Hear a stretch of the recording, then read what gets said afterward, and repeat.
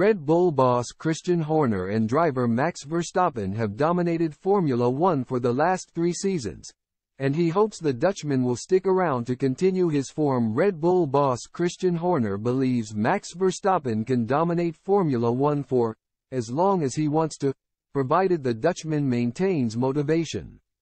Verstappen enjoyed the most dominant campaign in the sport's history in 2023, winning 19 of the 22 races.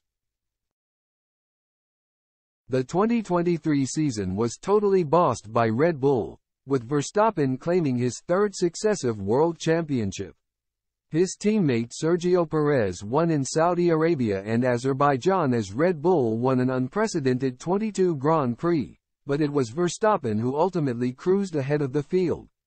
Horner is one of the very few most successful team principals in F1 history, with Red Bull securing over 110 Grand Prix victories, 95 pole positions, 264 podiums, 7 Drivers' Championships and 6 Constructors' Championships.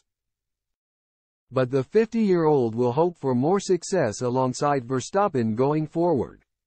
The 26-year-old has been in inspired form over the last three seasons, winning the world title each year while accumulating 43 wins from 66 races. His form led to a lucrative long-term contract, keeping him tied to Red Bull through 2028. However, Verstappen remains coy over his future, suggesting he is unlikely to imitate the likes of Fernando Alonso, Kimi Raikkonen and rival Lewis Hamilton.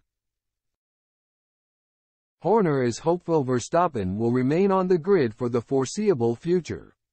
Who knows? Horner told race fans. I mean at 26, Obviously he's still got quite a few years left in him. But he'll go as long as he wants to and his motivation is there. I think he's very strong in his own mind. I don't think he'll be driving when he's 42 in F1. But that's 18 years away or 16 years away from where he is now. So I think he's going to take things one season at a time.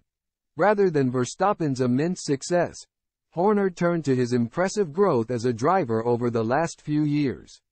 He added, I think you're always learning. And I think he's the same. He's like a sponge. He just soaks it up, and he applies it. And he's just hungry for information. He wants that knowledge, and then he applies it. The next step in Horner and Verstappen's road to greatness comes in 2026, when the next generation of power units will be introduced. Red Bull powertrains means the Milton Keynes-based team will rival Ferrari and Mercedes as manufacturers, and Verstappen will hope to dominate once again.